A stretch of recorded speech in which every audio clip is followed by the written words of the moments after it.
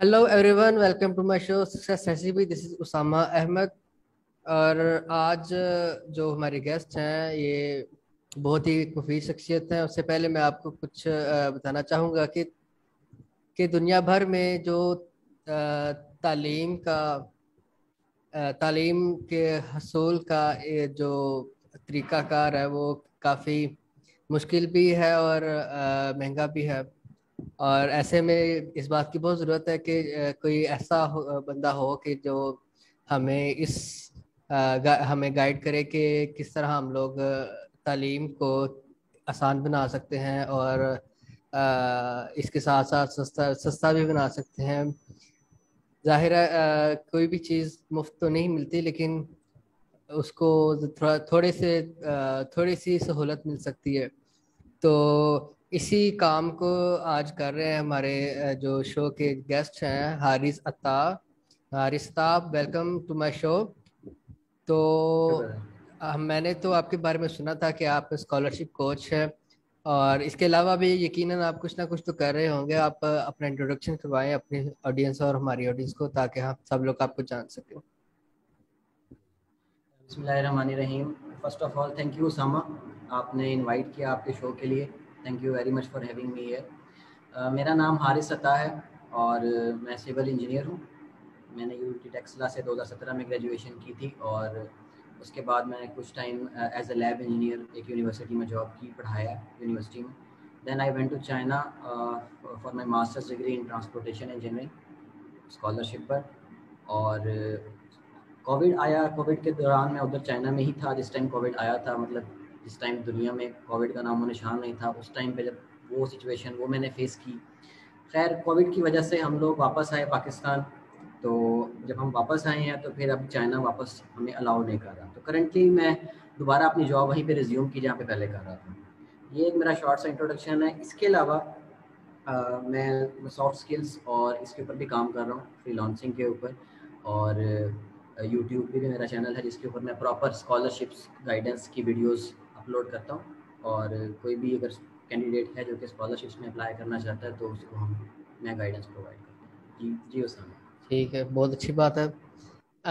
हारिस ये बताइए कि आप की जो पैदाइश है वो कहाँ हुई कहाँ पैदा हुए कहाँ आप ने तालीम पाई कहाँ पले पड़े स्कूल कहाँ गए ये ज़रा बताएँ।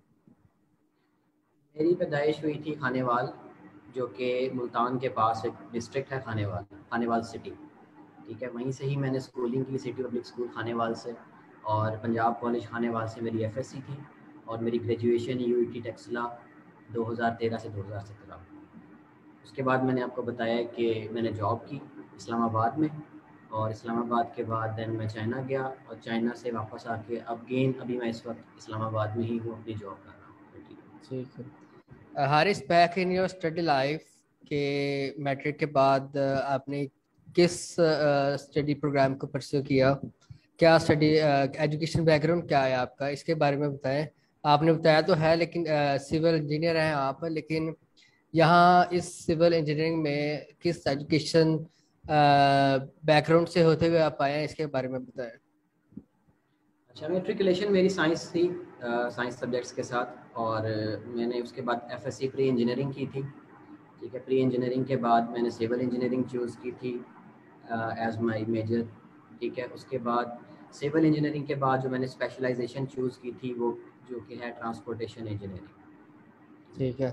यानी आपके एफएससी में आपने सिर्फ़ जो प्री इंजीनियरिंग चूज़ की थी जिसमें आपके subjects if I am not wrong आपके फिजिक्स केमिस्ट्री और मैथ्स थे आपके सब्जेक्ट उसके बाद आप सिविल इंजीनियरिंग में आ गए जिसमें टोटली सब्जेक्ट्स डिफरेंट है। आपको भी पता होगा। ठीक है। और डिफरेंट भी हैं और ज़्यादा भी हैं पहले से। तो समहाउ हम कह सकते हैं डिफरेंट बट इंटर रिलेटेड है सारी चीज़ें क्योंकि जी इंटर आपसे हाँ जी। इंटर रिलेटेड तो है वो साइंस साइंस की फ़ील्ड है और इसमें तो यार थोड़ा सा आप आ, अगर आप देसी ज़ुबान में बोलें तो मिस्ट्रियों वाला काम आ जाता। है मे बी अगर मैं गलत भी हो सकता हूँ लेकिन आ, लेकिन जहाँ तक मेरे नाकिस के मुताबिक है तो ये बात है। ठीक है? मैं आ, मैं आपको डिफरेंस डिफरेंस क्लियर कर देता हूँ। वो डिफरेंस ये है जो मिस्त्री जो काम करता है ना उसको एक आपको एक पाथ बता दिया जाता है स्टेप वाइज कि आपने इसमें सीमेंट में पानी मिक्स करना है इसमें ये चीज़ मिक्स करनी है। ठीक है? लेकिन उसको उसके बैक एंड पे रीज़न नहीं पता होती कि इसमें इतना पानी डाला है हमने क्यों डाला है? लेकिन उसको एक सदियों से एक ट्रेडिशन चली आ रही है बाप दादा से ठीक है उस तक। वो उस हिसाब से ईंटें जोड़ता है सारा कुछ करता है। बट उसको बैक एंड पे उसकी जो जो नॉलेज है वो नहीं पता होता कि क्यों हम इतना पानी डालते हैं क्यों हम इसको इस तरह मॉडरेट रखते हैं किस मौसम में हमने क्या चीज़ें ऐड करनी है। तो ये सम हाउ डिफरेंसेस होते हैं कि जो कि इंजीनियर में हैं और एक उसमें जी जी वो तो ठीक है आपकी बात है। लेकिन फिर भी मैं आपसे पूछना चाहूँगा कि साइंस में मतलब कि जैसे फिजिक्स केमिस्ट्री मैथ पढ़ते हुए अचानक मतलब कि सिविल इंजीनियरिंग में आने का कैसे ख्याल आ गया? जो कि आप भी इस बात का इकरार करते हैं कि बिल्कुल डिफरेंट फ़ील्ड तो इसके आप और और भी फ़ील्ड में जा सकते थे जैसा सॉफ्टवेयर इंजीनियरिंग में जा सकते थे इंडस्ट्रियल इंजीनियरिंग मैकेनिकल इंजीनियरिंग में जा सकते थे। तो आपने सिविल इंजीनियरिंग ही चूज़ क्यों की? इसमें आपका इंटरेस्ट था? ठीक है। ऐसे था कि जब से मैंने एफएससी में एफएससी मैंने अपनी स्टार्ट की थी तब से मुझे शौक था इंजीनियरिंग का। लेकिन उस टाइम कोई पर्टिकुलर इंजीनियरिंग मेरे माइंड में नहीं थी।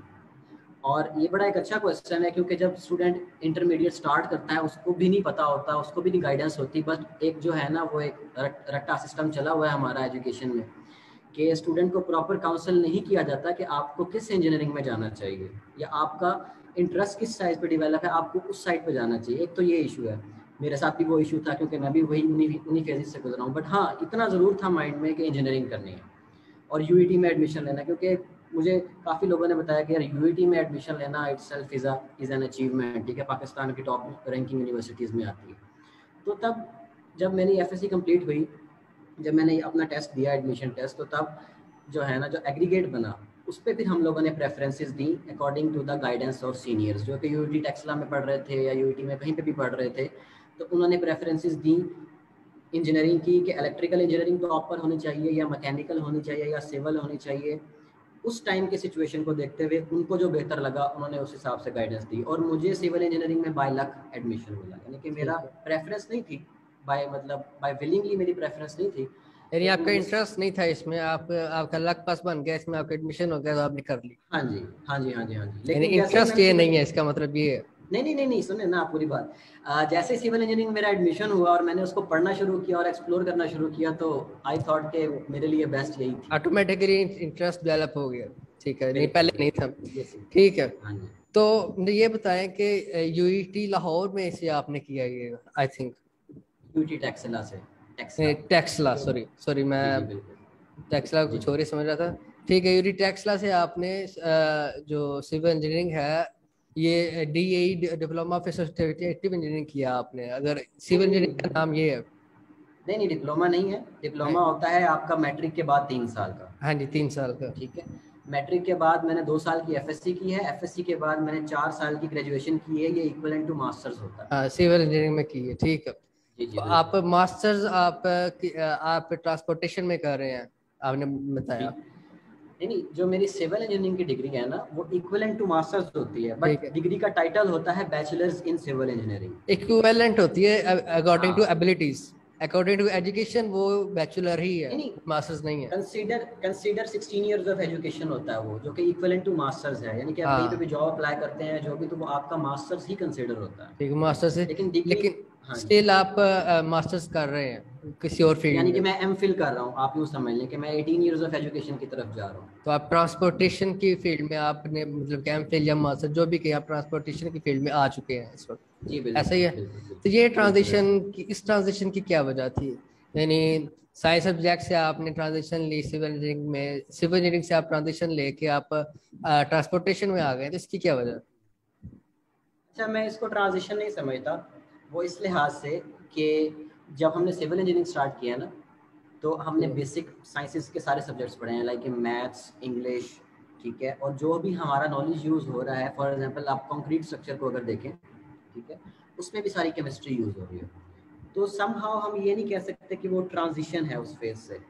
इंटर रिलेटेड कर रही हैं चीज़ें और काफ़ी ज़्यादा कर रही हैं ठीक है? ट्रांजिशन में तो ये आ जाता है ना कि आप बिल्कुल शिफ्ट हो जाए एक चीज़ से दूसरी ठीक है? अच्छा आप दूसरा आपका क्वेश्चन ये कि ट्रांसपोर्टेशन में आप क्यों आए? वो इस वजह से कि जो है ना सिविल इंजीनियरिंग में काफ़ी ज़्यादा ब्रांचेज हैं, ठीक है? उसमें एक स्ट्रक्चरल इंजीनियरिंग है जो कि purely related to construction of buildings है।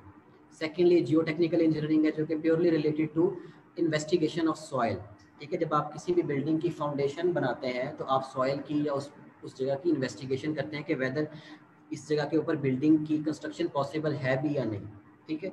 ये एक उसकी ब्रांच है।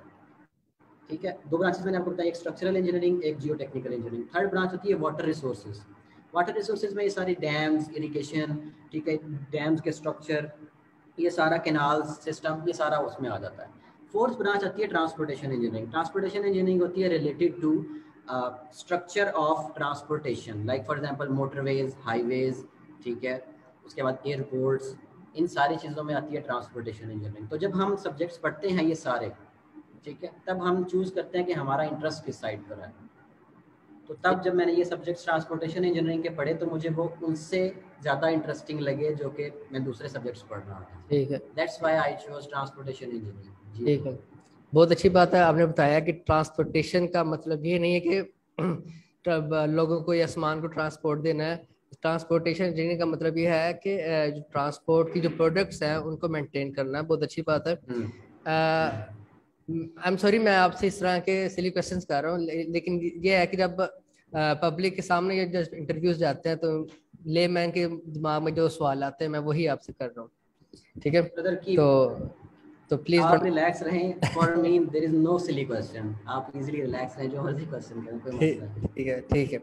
अच्छा आपने बताया कि चाइना से आप south south university of China से आपने ये मास्टर्स डिग्री के लिए परसू किया हुआ है।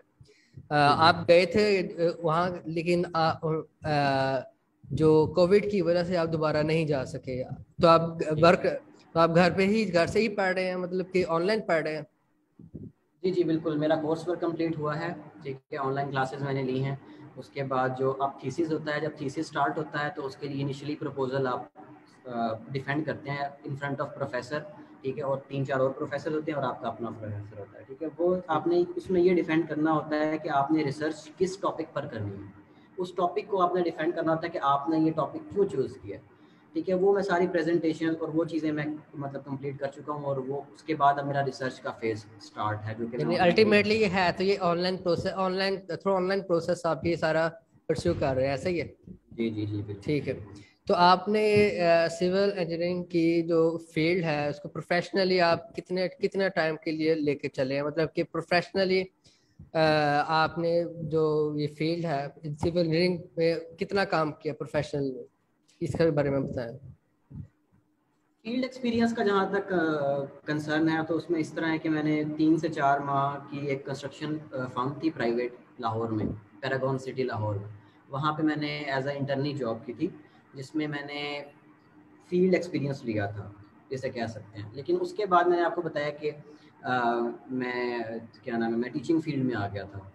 तो जो कि प्योरली एकेडमिक फ़ील्ड है तो एक साल मैंने वो पढ़ाया और उसके बाद अभी मैंने दोबारा नवंबर से रिज्यूम किया है वही टीचिंग अभी मैं एकेडमिक फ़ील्ड में हूँ फ़ील्ड में मैंने मेरा एक्सपीरियंस इतना कोई खास नहीं है। ठीक है।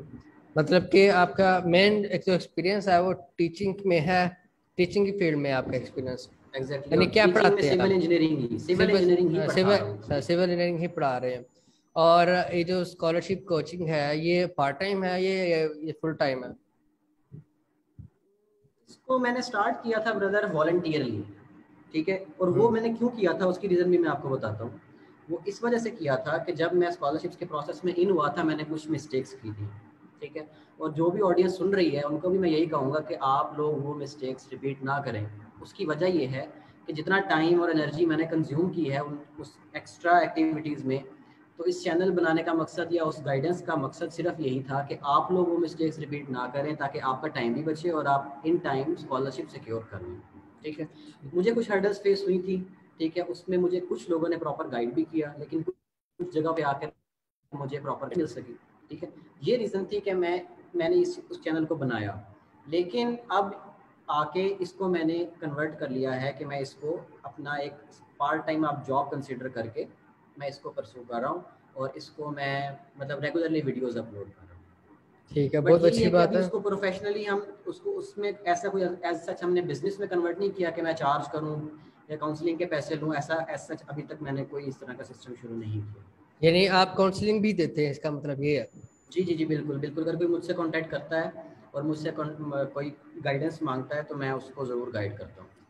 ठीक है, हरीश, एक क्वेश्चन है मेरे माइंड में आ रहा है। बहुत सारे लोगों के माइंड में आएगा, जो स्टूडेंट्स हैं।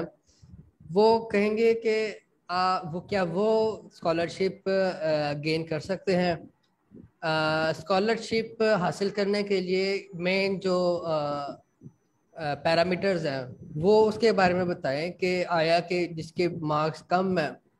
यानी उसको स्कॉलरशिप मिल सकती है या एटलीस्ट कितने मार्क्स हो टाइम पीरियड भी मैटर करता है। अगर किसी का मैट्रिक पाँच साल पुराना हो गया तो वो उसको तो कंसिडर नहीं होगी उसकी एप्लीकेशन तो इसके बारे में थोड़ा सा गाइड करें कि कौन से स्टूडेंट्स स्कॉलरशिप के लिए परस्यू कर सकते हैं। सबसे पहली बात यह है कि अक्सर स्टूडेंट्स स्कॉलरशिप में अप्लाई नहीं करते, उसकी रीज़न क्या होती है, वो समझते हैं कि हम इस इस काबिल नहीं हैं या हम कैपेबल नहीं हैं, या हमारा स्कॉलरशिप हो नहीं सकता। सबसे पहले तो लोगों, आप ऑडियंस का ना आपने माइंड चेंज ये करना है कि अपना माइंड सेट बना लें कि आप कर सकते हैं। इवन आपके मार्क्स लो हैं इवन आपके पास कोई इंटरनेशनल सर्टिफिकेशन नहीं है, कुछ भी नहीं है, लेकिन आपने क्या करना है कि आपने गिव अप नहीं करना इन द स्टार्ट ठीक है? और जब तक आपका माइंडसेट नहीं बनेगा ना कि यार मैं सिक्योर कर सकता हूँ स्कॉलरशिप तब तक आप अपनी स्कॉलरशिप एप्लीकेशन में हंड्रेड परसेंट पुट नहीं करेंगे, ठीक है? जब मुझे सेल्फ बिलीव नहीं होगा ना तो उसका असर आपके डॉक्यूमेंट्स पे आएगा। अब डॉक्यूमेंट्स पे कैसे आएगा? क्योंकि आपने कुछ लेटर्स लिखने होते हैं। उसमें आपने अपनी लाइफ के बारे में लिखना होता है स्टेटमेंट ऑफ़ पर्पस जिसे कहते हैं। उसमें आपने अपने प्रोग्राम का पर्पस बताना होता है कि आप इस स्कॉलरशिप में क्यों अप्लाई करना चाह रहे हैं। बैक एंड पे प्रोग्रामिंग हमारी जब माइंड की इस तरह की हो जाती है कि हमारी ये सब कुछ एनर्जी है ना हमारे इर्द गिर्द, हम अपनी एनर्जी पुट करते हैं ना किसी काम में तो जब आपका माइंड ही उस टाइम ये होता है कि यार नहीं पता नहीं मेरा होता है या नहीं होता तो आप अपना स्कॉलरशिप में हंड्रेड परसेंट एप्लीकेशन में हंड्रेड परसेंट नहीं दे पाते। एक चीज़ तो ये सबसे पहले कि अपना माइंडसेट ये बनाएँ कि आप कर सकते हैं, ठीक है? और वो स्कॉलरशिप्स नहीं, कोई भी काम अगर आप करना चाहते हैं फ्रीलांसिंग करना चाहते हैं, कोई सॉफ्ट स्किल्स सीखना चाहते हैं, कुछ भी करना चाहते हैं यू कैन डू इट ठीक है? चूज़ कौन सा करना है काम आपने जिसमें आपका इंटरेस्ट है। सबसे पहले अपना माइंड बनाए कि आप कर सकते हैं, और अगर आपका स्कॉलरशिप में इंटरेस्ट है, अगर आप हायर एजुकेशन लेना चाहते हैं, वाकई पढ़ना चाहते हैं then you should apply for scholarship अब बात आ जाती है कि कुछ स्टूडेंट्स हैं जिनके मार्क्स कम हैं, वो क्या करें? तो मार्क्स ऐसे होता है कि आप जब स्कॉलरशिप में अप्लाई करते हैं, आपकी ओवरऑल प्रोफ़ाइल मैटर करती है। ये नहीं कि सिर्फ़ आपका सी जी पे आपने अपनी लाइफ में क्या कम्युनिटी सर्विसेज़ दी? आपने लोगों को कितना असिस्ट किया? आपने सेल्फलेस काम कितना किया कम्युनिटी सर्विसेज़ में? आपकी, आपने कहाँ कहाँ पे इंटर्नशिप की? कैसा आपने एक्सपीरियंसेस लिया एक्सपीरियंसेस लिए लाइफ में? वो आप किसके थ्रू प्रेजेंट करेंगे? अपनी स्टेटमेंट ऑफ़ पर्पज़ के थ्रू उसके बाद C G P A is one of the ruling criteria we can not neglected ठीक है? सी पी जितना ज़्यादा होगा, उतना बेहतर है, ठीक है? तो अब आ जाती है बात के चांसेस कितने हैं सिलेक्शन के? तो ये कोई बंदा भी गारंटी नहीं कर सकता, ना मैं, ना कोई और बंदा। आप अपनी स्कॉलरशिप में हंड्रेड परसेंट अपना पुट करें, बाकी नसीब पे अल्लाह पे छोड़ते हैं इंशाल्लाह स्कॉलरशिप होता है।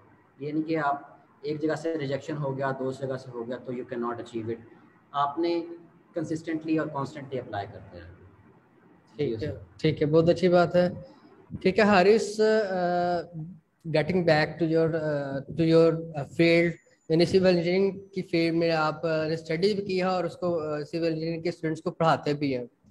तो किस यूनिवर्सिटी में आप पढ़ाते हैं और uh, इसका इसके में एडमिशन लेने का क्या क्राइटेरिया कौन कौन एडमिशन ले सकता है सिविल इंजीनियरिंग की फ़ील्ड में? वसीन यूनिवर्सिटी इस्लामाबाद कैंपस में मैं पढ़ा रहा हूँ इस टाइम ठीक है? और इसमें एडमिशन ये प्राइवेट यूनिवर्सिटी है गवर्नमेंट यूनिवर्सिटी नहीं है तो इसमें एडमिशन का क्राइटेरिया ये होता है कि अबाउ सिक्सटी परसेंट आपके मार्क्स होने चाहिए एफएससी में, ठीक है? मैट्रिक के बाद एफ़ एस प्री इंजीनियरिंग हो और आपके सिक्सटी परसेंट से ज़्यादा मार्क्स हों। तब आप इस यूनिवर्सिटी में अप्लाई करेंगे। यूनिवर्सिटी अपना टेस्ट लेती है एंट्री टेस्ट लेती है। आप वो टेस्ट क्लियर करें, आपका एडमिशन हो जाता है। ये प्रोसेस है ठीक है। और फ़ीस कैजुअल क्या होगा इस यूनिवर्सिटी में? हर सेमेस्टर वो रिवाइज होता है हर साल बट यहाँ पे फ़ीस थोड़ी सी ज़्यादा है क्योंकि प्राइवेट यूनिवर्सिटी है प्राइवेट यूनिवर्सिटी में फ़ीस ज़्यादा ही होती है। ठीक है। तो आई वुड सजेस्ट कि आप एफ़ में और मैट्रिक में अच्छे मार्क्स लें उसके बाद ई कैट दें और किसी गवर्नमेंट यूनिवर्सिटी में एजुकेशन परसू करें वहाँ पे आपको स्कॉलरशिप्स भी मिल जाती हैं अंडर ग्रेजुएट डिग्री के लिए। आपने शुरू में बताया ना कि एजुकेशन एक्सपेंसिव हो चुकी है। तो हम एजुकेशन को निगलेक्ट नहीं कर सकते। हम कोई ऐसा वे ढूंढें जिसके थ्रू हमारी एजुकेशन को सपोर्ट हो जाए। ठीक है? उसके लिए मैं आपको यही सजेस्ट करूँगा कि आपको कि आप गवर्नमेंट यूनिवर्सिटी जाएँ वहाँ पे स्कॉलरशिप नीड बेस्ड स्कॉलरशिप्स होती हैं मेरिट बेस्ड स्कॉलरशिप्स होती हैं। उनमें अप्लाई कैसे करना है? कोई मुझसे पूछना चाहे तो you are more than welcome आप मुझसे पूछ सकते हैं। ठीक है? आप मेरे चैनल का लिंक भी दे दीजिएगा मेरा कॉन्टैक्ट नंबर भी दे दीजिएगा। तो कोई अगर मुझसे कॉन्टैक्ट करना चाहता है कि अप्लाई कैसे करना है तो मैं उसको गाइड कर दूँगा। तो बात यह है कि आपने स्कॉलरशिप में अप्लाई करें। हाँ अगर आप अफोर्ड कर सकते हैं और आपके मार्क्स कम हैं तो आप ज़रूर डिग्री लें, क्योंकि यहाँ पे भी degree Punjab sorry Pakistan engineering council से रजिस्टर्ड है। एचईसी से भी अप्रूव्ड है और पाकिस्तान इंजीनियरिंग काउंसिल से भी अप्रूव्ड है। लेकिन अगर आप अफोर्ड नहीं कर सकते इतनी फ़ीस तो आपको गवर्नमेंट यूनिवर्सिटी में जाना चाहिए। ठीक है। ठीक है हारिस मैं अब आपसे ये पूछूँगा कि जैसे आपने भी बताया कि स्टूडेंट्स में ज़्यादा रट्टा सिस्टम बहुत ज़्यादा जो है ना डोमिनेट कर चुका है। और इस वक्त स्टूडेंट्स जो हैं वो कॉन्सेप्चुअल स्टडी करने की बजाय रट्टे को ज़्यादा ज़्यादा प्रेफर करते हैं ताकि मतलब कि एज इट इज़ हम लिखें और हमारे जो है ना फुल मार्क्स आ जाए। तो आप क्या ऐसे स्टूडेंट्स को या ऐसे टीचर्स को जो एडवाइस देना चाहेंगे जो इस चीज़ को प्रमोट करते हैं कि आपने लफज व लफज ही लिखना है बेशक उसको समझो समझो चाहे ना समझो। तो उन लोगों को आप क्या एडवाइस करना चाहेंगे? मैं स्टूडेंट्स से ज़्यादा मेरे ख्याल में पेरेंट्स को सजेस्ट करना चाहूँगा। ये बात पेरेंट्स को भी समझने की है। मतलब to be very respectful respect के दायरे में रहते हुए, ठीक है? कि आप अपने अपने बच्चों को रोबोट्स मत बनाएँ कि भाई आपके इस बच्चे से मार्क्स ज़्यादा आने चाहिए या आपके मार्क्स आपने फ़र्स्ट आना है, ठीक है? आपने उनको ये बताना है अपने बच्चों को कि आपने उस स्टडी से कुछ लर्न करना है, उस लर्न करके आपने सोसाइटी को सर्व कैसे करना है? आपने एक अच्छा इंसान कैसे बनना है? बजाय इसके कि आप हम कंपटीशन में लगा दें बच्चों को कि यार आपने बस दिन रात पढ़ना है और फ़र्स्ट आना है, नहीं आओगे तो ज़िंदगी ख़त्म हो जाएगी, ऐसा नहीं है। मैंने बहुत सारे स्टूडेंट्स को देखा है जो कि जो सुसाइडल थॉट्स उनको आते हैं। कि उनके मार्क्स अच्छे नहीं आ रहे, दो साल, तीन साल रिपीट करते हैं एडमिशन नहीं होता है। तो ज़िंदगी एक इंजीनियरिंग पे या डॉक्टर पे ख़त्म नहीं हो जाती। अगर इंसान में काबिलियत फ़ील्ड में एक्सेल कर जाता है तो आप अपने बच्चे को ये पूछें कि भाई आपका इंटरेस्ट किस चीज़ में है? उस इंटरेस्ट को परसू करो। रट्टे में क्यों आते हैं बच्चे? वो इसी वजह से आते हैं। फॉर एग्ज़ाम्पल एक स्टूडेंट आया सिविल इंजीनियरिंग में। सिविल इंजीनियरिंग उसको समझ ही नहीं आ रही है, उसके ऊपर से गुजरे या क्यों नहीं आती समझ? वो इस वजह से नहीं आती कि उसका इंटरेस्ट नहीं है। अगर एट दी फ़र्स्ट मतलब फ़र्स्ट स्टेप एफएससी में ही उसको गाइड कर दिया जाता है ना कि भाई अपना इंटरेस्ट के मुताबिक डिग्री परसू करो। जब उसके इंटरेस्ट के मुताबिक वो डिग्री परसू होती, वो उसमें लाजमी इंटरेस्ट लेता, वो सब्जेक्ट्स को पढ़ता, वो एक्सप्लोर करता, वो रिसर्च करता, वो दूसरों से पूछता कि इसको कैसे करना है। ठीक है? अब जिस इंसान का इंटरेस्ट ही नहीं है, उसे क्या पता कि मैंने चार साल बाद जॉब करनी है मैंने मास्टर्स करना है मैंने टीचिंग करनी है या मैंने फ़ील्ड में आना है उसे पता ही नहीं है। तो इंसान को पता ही नहीं होगा तो वो रट्टा ही मारेगा ज़ाहिर सी बात है। किसी ना किसी तरह क्योंकि पेरेंट्स का प्रेशर है रिलेटिव्स का प्रेशर है सोसाइटी का प्रेशर है। ठीक है ये सारे प्रेशर मिल के स्टूडेंट को कंफ्यूज कर देते हैं और वो फिर डिस्ट्रैक्ट होता है और रट्टा मारता है। पर बहुत सारी इसके ऊपर तो काफ़ी लंबी डिबेट हो सकती है कि हमारा एजुकेशन सिस्टम क्या है। कुछ उसकी भी रिक्वायरमेंट है कि हमें रट्टा रटलाइजेशन वाली साइड पे आना पड़ता है मजबूरी में भी। तो उस टाइप पे हम नहीं जाते क्योंकि कंप्लेन करेंगे तो हमारा अपना नुकसान है। तो हमें अपने अपने आप को बेहतर करने की ज़रूरत है रादर कि हम एजुकेशन सिस्टम अगर हम चेंज करने पे चले जाएँ या उस वो फिर एक लंबी डिबेट आ जाती है। उस, उस, उस मेरा ख्याल उसको हम वो, वो उस पर बहस करना फजूल है। जी ठीक है। ठीक है हारिस मैं मेरा क्वेश्चन जो है अगला बहुत ही ज़्यादा परेशान कौन है। कि अक्सर स्टूडेंट्स को अपने इंटरेस्ट का उसी वक्त पता लगता है जब वो किसी कॉलेज यूनिवर्सिटी में एडमिशन ले लेते हैं, एक साल गुजार लेते हैं, तब उनको पता लगता है कि भाई ये तो मेरी इंटरेस्ट की फ़ील्ड ही नहीं थी। अब मैं क्या करूँ? अब मैं इसको छोड़ दूँ या इसको पूरा करूँ? पूरा करते हैं तो निकम्मे इंजीनियर बन जाएँगे। अगर छोड़ देते हैं, उनका टाइम वेस्ट होता है और पैसा भी वेस्ट होता है। तो ऐसे में अपने पैशन को, अपने इंटरेस्ट को पहचानने के लिए इंसान को क्या करना चाहिए? किस किस तरह वो अपने इंटरेस्ट को, अपने पैशन को पहचान सकता है? इसके बारे में थोड़ा रोशनी डालें आप। देखिए, कल परसों कुछ, कल परसों तो नहीं कह रहे हफ़्ता एक पहले की बात है कि एफएससी के दो बच्चे थे, उन्होंने मुझसे सजेशन ली। ठीक है कि हमें, भाई हमें कौन सी एडमिशन इंजीनियरिंग में जाना चाहिए? मैंने सबसे पहला सवाल उनसे ये कि आप, क्या काम करने में मज़ा आता? है एक बच्चा कहता है, यार मुझे ना ये कंटेंट क्रिएशन में इस चीज़ का मज़ा आता है। एक कहता है, मुझे प्रोग्रामिंग में मज़ा आता है। ठीक है? मैंने कहा, और आपके पेरेंट्स क्या कह रहे हैं? कहते मेरे पेरेंट्स कह रहे हैं इलेक्ट्रिकल इंजीनियर बनना है। मैंने कहा, देखो, बात ये है असल में एफएससी मैट्रिक के बाद भी इस बच्चे में कुछ समझ बूझ आने लग जाती है उसे पता लग जाता है कि उसे क्या करना चाहिए, लेकिन उसको, उसका हाथ कोई नहीं पकड़ रहा होता। मसला सिर्फ़ ये है, ठीक है, हमें उसको प्रॉपर गाइड करने की ज़रूरत है उसकी एफएससी की ही स्टेज में, कि वो पहले ही अपना इंटरेस्ट चूज़ करके उस सीट पे जाए। अब बात आ जाती है आपकी कि अगर चलो भाई गाइडेंस नहीं मिली अब वो आ चुका है। सिविल इंजीनियरिंग में या किसी भी फ़ील्ड में जो कि उसके इंटरेस्ट की नहीं है तो क्या करे? मेरे ख्याल में छह महीने के अंदर अंदर पता चल जाता है इंसान को कि मैं ये कर सकता हूँ या नहीं। लेकिन फैसला करने में एक साल गुजर जाता है कि मेरी फ़ील्ड नहीं फैसला वो फिर उस उस बंदे की अपनी वीकनेस है। ठीक है? अब अगर आपको लगता है कि आप इस फ़ील्ड में नहीं बढ़ सकते तो आपको छोड़ देना चाहिए। एक साल से कोई फ़र्क नहीं पड़ता। ये हमने या हमारी सोसाइटी ने ये चीज़ें बनाई हुई है कि अच्छा एक साल ज़ाया हो गया अच्छा बच्चा फेल हो गया।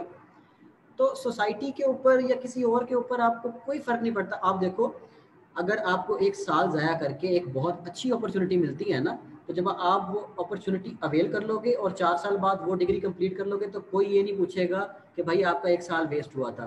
सारे देखेंगे कि यार इसकी आउटपुट आ रही है। ठीक है? तो ये वक्ती बातें होती हैं। इस सोसाइटी का रवैया आपके रवैयों के मुताबिक चेंज होता है, ठीक है? आप जीतोगे तो आपके साथ क्लैप करेगी, आप हारोगे तो आपको मॉक करेगी, आपको डाउनग्रेड करने की कोशिश करेगी। लेकिन हमें पता है कि failures are not the ultimate things failures हमें सिर्फ़ सिखाने के लिए आते हैं, ठीक है? तो आपने, हम अपना डिसीज़न चेंज इसी वजह से कर लेते हैं कि हमारे, हमारा, माशरे का इन्फ्लुएंस बहुत ज़्यादा होता है। या मेरा दोस्त आगे निकल गया, मुझसे मैं पीछे रह गया भाई, चार साल बाद जब आप अपने इंटरेस्ट के मुताबिक काम करोगे, आप पैसे भी कमा लोगे, आप सेटिस्फाइड भी होगे और कोई आपसे ये नहीं कहेगा कि यार अच्छा तुम्हारा एक साल तुमने रिपीट किया था। कुछ भी नहीं होगा, ये चीज़ें हैं। बहरहाल, यही बात है कि इस प्लेटफॉर्म के थ्रू आपके चैनल के थ्रू हमें ये बात लोगों तक पहुँचाने की ज़रूरत है कि हमें लोगों को प्रॉपर गाइड करना है। सेल्फलेसली कि वो हमें बदले में हमने उससे कुछ एक्सपेक्ट नहीं करना है। हमें उनको गाइड करना है ताकि उनकी ज़िंदगी इम्प्रूव हो सकें आगे। ठीक है। अच्छा मुझे ये बताएँ कि मैट्रिक तो सब लोग करते हैं, लेकिन सिविल इंजीनियरिंग में कोई कोई जाता तो कौन से बच्चे जो हैं वो सिविल इंजीनियरिंग में जा सकते हैं? तो ऐसा कोई मतलब कि कुछ स्पेसिफिक क्राइटेरिया है, या कोई इंटरेस्ट कोई इंटरेस्ट के जो सेट्स है वो वो उनमें होने चाहिए इसे, इसके लिए परस्यू करने के लिए? इसके बारे में बताएँ कि ये सिविल इंजीनियरिंग किन बच्चों के लिए बनी हुई है अच्छा सिविल इंजीनियरिंग बेसिकली उनके लिए है जिनको कंस्ट्रक्शन में इंटरेस्ट है, जिनको बिल्डिंग्स में या आर्किटेक्चर में या सिविल इंजीनियरिंग बेसिकली बहुत वास्ट फ़ील्ड है। इसमें अर्बनाइजेशन भी आ जाती है अर्बन प्लानिंग आ जाती है। इसके अलावा इसमें आर्किटेक्चर डिज़ाइन आ जाता है। इसके अलावा इसमें स्ट्रक्चर डिज़ाइन आ जाता है बिल्डिंग कंस्ट्रक्शन आ जाती है मोटरवेज हाईवेज जैसे कि कुछ स्टूडेंट्स होते हैं जिनको गाड़ियों में बड़ा इंटरेस्ट होता है, ठीक है? अब जब गाड़ियों में, गाड़ी चलाने में इंटरेस्ट है तो वो मैकेनिकल इंजीनियरिंग बंद कर सकता है। और अगर उसको अपनी ड्राइव की क्वालिटी इंप्रूव करने की उसको उसकी विश है कि यार मैं अपने सफ़र को कंफर्टेबल कैसे बना सकता हूँ? ठीक है वो सिविल इंजीनियरिंग में आ सकता है। तो मैटर ऑफ़ फैक्ट ये है कि हमें उस बच्चे से गाइड उससे बात करके एक्सप्लोर करना है कि उसको क्या करना है। ठीक है और उस, उसका इंटरेस्ट जानना है। अब बात कर लेते हैं कि किन लोगों का एडमिशन होता है और कैसे एडमिशन होता है वो ऐसे होता है कि एफएससी में आपको मैक्सिमम मार्क्स सिक्योर करने होते हैं।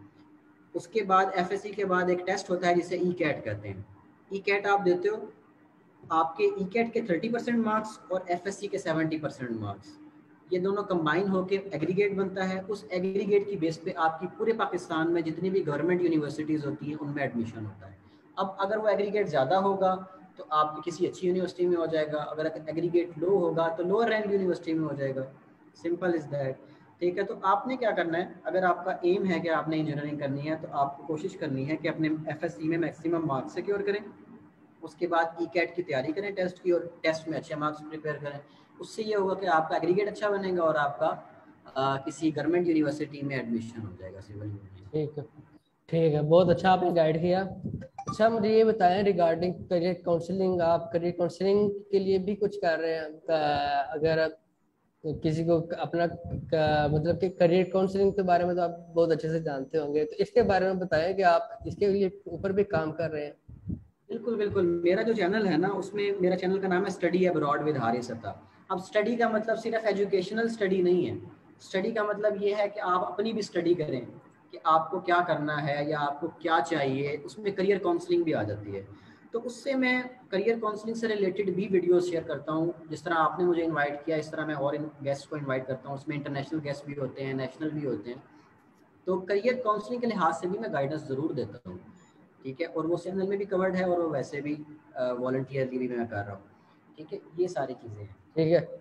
मेरा भी आ, इसी मतलब के प्लेटफॉर्म से मैं करियर काउंसलिंग को भी आगे लेके जाना चाह रहा हूँ। तो आप इसमें मेरी हेल्प करेंगे? श्योर व्हाई नॉट ठीक है। देखें ये ये देखें ये चीज़ें जो है ना मैंने एक जगह एक लाइन पढ़ी थी बहुत अच्छी। ठीक है उसमें ये कहता है कि आप ज़िंदगी में जो कुछ अपने लिए करते हो ना उससे आपकी लिविंग आप आप लिविंग हासिल करते हो यानी कि अपनी रोजी रोटी हासिल करते हो। लेकिन आप जो दूसरों के लिए करते हो ना उससे आप ज़िंदगी हासिल करते हो। ठीक है ज़िंदगी नाम ही इसी चीज़ का है कि हमें दूसरों को सेल्फलेसली दूसरों की हेल्प करनी है और और कोई चीज़ मिले या ना मिले आपको सेटिस्फेक्शन ज़रूर मिलती है। सेटिस्फेक्शन के अलावा दुआएँ ज़रूर मिलती हैं। ठीक है, जब मैंने स्कॉलरशिप में अप्लाई करना शुरू किया था, एक टाइम पे आके मैं काफ़ी डिसहार्ट हो गया था कि यार मेरा स्कॉलरशिप नहीं हो रहा है। ठीक है, मैंने लोगों को गाइड करना शुरू कर दिया वही स्टेप्स जो मुझे पता थे। आप यकीन करेंगे कि लोगों ने, मुझे मैसेजेस आते थे कि इन आप, हमारी दुआ से ना, अब आप सक्सेस आपकी स्कॉलरशिप ज़रूर होगी। जब मुझे इस तरह के मैसेजेस आना शुरू हो गए ना तो मुझे यकीन हो गया कि यार अब अल्लाह भी मेरे साथ है और उनकी दुआएँ, लोगों की दुआएँ मेरे साथ हैं। तो ऑटोमेटिकली अल्लाह ताला आपको ज़रूर रिवॉर्ड करता है। ठीक है? तो आप ह्यूमैनिटी को सर्व करने के लिए या उनकी हेल्प करने के लिए कोई भी इनिशिएटिव ले रहे हैं तो इन मैं आपके साथ हूँ और हम पाकिस्तानी भी हैं हम ज़रूर एक दूसरे को सपोर्ट करेंगे। पाकिस्तानी ना भी होते तो भी हम लोग एक ही फ्लैग के अंडर आइडेंटिटी है ठीक। है हारिस मुझे ये बताएँ कि आप सॉफ्ट स्किल्स के बारे में भी बताया किन सॉफ्ट स्किल्स पे काम कर रहे हैं और और मैट्रिक एंड इंटर के स्टूडेंट्स को किन सॉफ्ट स्किल्स के ऊपर काम करना चाहिए? ये बताएँ। बहुत अच्छा क्वेश्चन है आपका। मैं ये कहता हूँ, आपने, मैं अब नाम नहीं लूँगा यहाँ पे, कुछ सोशल मीडिया इन्फ्लुएंसर्स हैं हमारे पाकिस्तान में, ठीक है? जो कि ये कहते हैं कि डिग्री मत लो और सिरा स्किल्स सीखो, ठीक है? उसमें मेजॉरिटी मैट्रिक और एफएससी के स्टूडेंट्स जो है ना डाइवर्ट हो रहे हैं। और वो एजुकेशन की तरफ़ या डिग्री की तरफ़ नहीं जा रहे। अब उनका एजेंडा ये होता है कि यार डिग्री बहुत महँगी है। मैं कहता हूँ डिग्री महँगी नहीं है। कैसे महँगी नहीं है कि अगर आप मैट्रिक और एफएससी में इतने काबिल, काबिलियत अपनी शो करें, आप अच्छे मार्क्स लें टॉपर्स में आए तो आपको गवर्नमेंट यूनिवर्सिटीज एडमिशन देती है जो कि बहुत लो फ़ीस के साथ होता है। ठीक है? और लो फ़ीस के साथ ये होता है कि आपको अक्सर स्कॉलरशिप भी मिल जाता है। ठीक है? उनकी काफ़ी बातें अच्छी हैं और इस बात पे मैं एग्री नहीं करूँगा। कि आपको डिग्री नहीं लेनी चाहिए। अच्छा अब बात यह है कि सॉफ्ट स्किल्स सीखने चाहिए या नहीं? बिल्कुल सीखने चाहिए। ठीक है सॉफ्ट स्किल्स सॉफ्ट स्किल्स आपने सीखने हैं, लेकिन आपका एम ये होना चाहिए कि मुझे अपनी डिग्री भी करनी है। मुझे डिग्री एटलीस्ट एक professional degree sixteen years of education लेनी है क्योंकि आपकी डिग्री आपको बहुत सी जगहों पे बचा जाएगी। सॉफ्ट स्किल्स से ये होता है कि अगर आप फ्री में आते हैं या ऑनलाइन अर्निंग में आते हैं तो ये अर्निंग थोड़ी सी अनस्टेबल है। इसका ग्राफ बड़ा अब्रप्ट चेंज होता है। कभी आप बहुत ऊपर चले जाते हैं, कभी नीचे आ जाते हैं। एट दैट मोमेंट आपको आपकी डिग्री सम हाउ बचा लेती है कि आप वक्ती तौर पर जॉब कर सकते हैं, ठीक है? आप अपनी लिविंग अफोर्ड कर सकते हैं। तो इसलिए मैं सबको सजेस्ट करता हूँ कि डिग्री ज़रूर लें। लेकिन उसके साथ साथ this world has change to digital ठीक है? अपने स्किल्स ज़रूर इम्प्रूव करें। अब उस स्किल्स में भी आपका जो इंटरेस्ट है फॉर एग्जांपल मेरा इंटरेस्ट है कंटेंट क्रिएशन तो मैं यूट्यूब की तरफ़ जाऊँगा, ठीक है? आपका इंटरेस्ट क्या है बाइंग एंड सेलिंग में कम्युनिकेशन में? आप किस साइड पर जाओगे? आप अमेजोन की तरफ़ चले जाओ या आप फाइबर की तरफ़ चले जाओ, आप डिजिटल सर्विसेज़ देना शुरू कर दें ठीक है? तो उसमें भी अपना इंटरेस्ट एक्सप्लोर करें कि आपको क्या करने में मज़ा आता है। तो जब अपने काम को आप एज एन इंजॉयमेंट लेंगे तो उसमें ज़रूर एक्सेल करेंगे। अपने ऊपर प्रेशर लेके नहीं कि यार मैंने कमाना है, ठीक है? अपने काम को इंजॉय करते हुए करें पैरेलल पे करते रहें, अपनी डिग्री भी लेते रहें। बहुत ज़्यादा टाइम होता है जो हम ज़ाया करते हैं यूनिवर्सिटी टाइम में, उस उस टाइम को यूटिलाइज करके अपना एक प्लेटफॉर्म इस्टेब्लिश कर लें ताकि जब आप ग्रेजुएट होते हैं तो आपके पास कोई ना कोई स्किल हो या आपके पास कोई ना कोई ऑल्टरनेट सोर्स ऑफ़ इनकम हो ताकि आपको ना जॉब्स के लिए धक्के खाने पड़े, ठीक है? स्किल्स में क्या क्या चीज़ें हैं? मुझे जो स्किल्स है, वो मुझे फाइबर का स्किल है मेरे पास। मैंने फाइबर पे काम किया है, ठीक है? मुझे पता है फाइबर के ऊपर काम कैसे करना है, अगर किसी को उस उस बारे में इंफॉर्मेशन चाहिए। तो वो लंबी बात हो जाएगी, मैं इसको शॉर्ट कर देता हूँ। फाइबर है यूट्यूब है ठीक है। उसके अलावा सोशल मीडिया मार्केटिंग है। इसके ऊपर मेरे मेरे पास थोड़े से जो है ना वो इसके ऊपर ग्रिप है, जो कि मैं मज़ीद इसको लर्न कर भी रहा हूँ अपनी जॉब के साथ साथ, ठीक है। और एक प्लेटफॉर्म भी हम लोग स्टार्ट कर रहे हैं, मैं स्टार्ट कर रहा हूँ, जिसको मैं लीड करूँगा, जिसमें हम लोग ऐसे स्टूडेंट्स को ऐड करेंगे जो कि स्किल सीखना चाहते हैं और उन लोगों को भी ऐड करेंगे जो कि एक्सपर्ट हैं। फॉर एग्जांपल आप एक चीज़ में एक्सपर्ट नहीं हो सकते। ठीक है? एक एक चीज़ की किसी स्पेसिफिक मॉड्यूल में एक्सपर्ट हो सकते हैं। एक अमेजोन है अमेजोन एक वास्ट फ़ील्ड है। अमेजोन के डिफरेंट मॉड्यूल्स हैं। यानी कि प्राइवेट लेबल है, उसमें होलसेल बिज़नेस है डिफरेंट है। तो आप एक चीज़ में एक्सपर्ट हो सकते हैं। इसी तरह हम हर हर मॉड्यूल के एक्सपर्ट बंदे को ऐड कर रहे हैं, आहिस्ता आहिस्ता। उसे एक सोसाइटी की शक्ल दे रहे हैं। जो स्किल सीखना चाहता है, वो भी उसमें ऐड हो सकता है। जो कि स्किल अपना किसी को सिखाना चाहता है वॉल्टियरली वो भी ऐड हो रहा है। तो अगर कोई उसको भी ज्वाइन करना चाहता है तो you are more than welcome आप अगर ज्वाइन करना चाहते हैं तो you are also more than welcome ठीक है? इस तरह हम वॉल्टियरली एक दूसरे की हेल्प करेंगे, लोगों को सिखाएँगे, ठीक है? और खुद भी सीखेंगे एक दूसरे के साथ। ठीक है। हारिस मैं आपको यहाँ पर कुछ बताना चाहता हूँ कि अभी ये मीटिंग एंड होगी, लेकिन मैं आपको दोबारा एक अच्छे लिंक से शेयर करूँगा। आप उसको दोबारा से ज्वाइन कर लीजिएगा, ताकि हम इस हमारी डिस्कशन को एक एंडिंग नोट पर ख़त्म कर सकें। मुझे ये बताएँ कि आपकी लाइफ में कोई ऐसा इंसिडेंट आया हो? ड्यूरिंग स्टडी ड्यूरिंग एजुकेशन पढ़ाते हुए या पढ़ते हुए प्रोफेशनल लाइफ में या पर्सनल लाइफ में कहीं भी भी आपको कोई ऐसे ऐसा वाक्य आपकी ज़िंदगी में रोनवा हुआ हो हुआ हो कि जिसने आपकी ज़िंदगी पर एक गहरा असर डाला हो जो आप सारी ज़िंदगी आप, आप, आप सारी ज़िंदगी के लिए नहीं भूलेंगे और उसमें ऐसा मैसेज भी छुपा हो कि जो आप आगे कन्वे करना चाहते हैं तो आप प्लीज़ उसके वाक्य को डिस्कस करें। ऐसे वाक़ात हर इंसान की ज़िंदगी में ज़रूर होते हैं, किसी ना किसी मोड पर ज़िंदगी में, ठीक है? कुछ माइल्ड लेवल पर होते हैं और कुछ बहुत ज़्यादा एक्सट्रीम लेवल पर होते हैं, ठीक है? माइल्ड तो ज़ाहिर सी बात है हर किसी हर किसी की ज़िंदगी में मेरे साथ भी हुए हैं, लेकिन जो एक्सट्रीम हुआ है, उसके बारे में मैं आपसे ज़रूर शेयर करूँगा और वो हुआ है चाइना वाला इंसिडेंट एक्सट्रीम वाला जो मेरे साथ वाक़ पेश आया था, वो चाइना वाला हुआ था कि वो वाक़ क्या था? वो यही था कि जब कोविड स्टार्ट हुआ है तो पूरी दुनिया में कहीं भी कोविड की मतलब वो सिचुएशन नहीं थी जो कि हम लोगों ने वहाँ पर उस टाइम पे फेस की। ठीक है? ये सिचुएशन हो गई थी कि सब कुछ यूनिवर्सिटी सील कर दी थी उन्होंने। बाहर से कोई अंदर नहीं आ रहा था, ना अंदर से कोई बाहर जा रहा था। ठीक है? और विंडो के अगर आप बाहर देखो तो आपको सन्नाटा, खामोशी, सिर्फ़ परिंदों की आवाज़ आती थी। उसके अलावा कोई आवाज़ आपको नहीं आती थी। एक suddenly picture upside down change हो गई। जहाँ पे बच्चे खेल रहे होते थे, रौनक होती थी। ठीक है? और वहाँ पे अचानक जो है बिल्कुल एक खामोशी सी छा गई थी। यानी कि मौत का राज हम प्रैक्टिकली आँखों से देखा। यानी कि अगर मैं इस चीज़ को ये कहूँ ना कि मैंने विटनेस किया है कि मौत कैसी होती है या डेथ कैसी होती है, वो मैंने देखा है, ठीक है? वो कैसे देखा है कि सिचुएशन इस तरह की क्रिएट कर दी थी उन लोगों ने कि उन्होंने फिर हॉस्टल भी सील कर दिया हमारा। तो उसके बाद उन्होंने ये कहा, जी, आप खाना खाने भी बाहर नहीं जा सकते, हम आपको अपना खाना देंगे। बट उसमें उन्होंने प्रेफरेंस दी थी, अगर आपने हलाल खाना खाना है तो हलाल की प्रेफरेंस थी। लेकिन वो चाइनीज़ खाना था, हम वो खा नहीं सकते थे मतलब यानी कि बॉइल्ड फ़ूड होती थी। चाइना में अगर मैं आपको बताऊँ तो हम लोग ऐसे करते थे कि हम खाना अपना बनाते होते थे। यानी कि स्पाइसेस वहाँ से नहीं मिलते, ये जो शान मसाले होते हैं नेशनल के, ये सारा कुछ हम यहाँ से पाकिस्तान से लेके जाते हैं और वहाँ से रॉ मटेरियल लेते हैं, यानी कि चावल, दालें, वो मिल जाती हैं और वो भी हम लोग ऑनलाइन परचेज करते हैं। अब वो सारा कुछ क्लोज हो गया था। अब सिचुएशन इन्होंने इस तरह से क्रिएट कर दी थी कि हर स्टूडेंट को एक रूम में अलहदा अलहदा कर दिया। कि कोई किसी से मिलने नहीं जाएगा, कोई किसी से बात नहीं करेगा। उसके बाद ये था कि इस तरह की सिचुएशन हो गई थी कि ऐसे फील होता था कि अगर हम विंडो भी ओपन करेंगे तो कोविड अंदर आ जाएगा और you are going to die ठीक है? तो मतलब सम हाउ मैंने अंदर से एक्सेप्ट कर लिया था कि भाई अब खत्म है लाइफ ना, यहीं पे सारा कुछ अब खत्म हो जाएगा। तो वो सिचुएशन इस तरह थी कि उससे ज़्यादा मेंटल प्रेशर शायद मेरी ज़िंदगी में कभी नहीं आ सकता। ठीक है? और वो मैं, आप आप शायद उस तरह से फील भी नहीं कर सकते कि जिस सिचुएशन के साथ मैं गुजरा। और कुछ लोगों को मैं जानता हूँ कि जिनका अभी तक साइकोलॉजिकली इतने डिस्टर्ब है, अभी तक स्टिल कि वो उस चीज़ से बाहर नहीं निकल पाए। ठीक है? तो वो सिचुएशन जो थी ना, वो बहुत ज़्यादा एक्सट्रीम थी। अब उससे सीखा क्या मैंने? वो भी मैं ज़रूर बताऊँगा। सीखा मैंने ये है कि आपका माइंड जब तक स्ट्रांग है ना, आपको कोई चीज़ अफेक्ट नहीं कर सकती। आपने हिम्मत नहीं हारनी है। ठीक है? कोई सिचुएशन ऐसी अगर आपके सामने आ जाती है जिसमें आपको रास्ता नज़र नहीं आ रहा है, आपको लग रहा है कि यार बस अब सब कुछ खत्म है, ऐसा नहीं होता। अल्लाह ताला ने कोई ना कोई रास्ता ज़रूर बनाना होता है इंसान के लिए जो कि हमें नज़र नहीं आ रहा था उस परेशानी में। ठीक है? अपने माइंड को स्ट्रांग रखें, सिर्फ़ और सिर्फ़।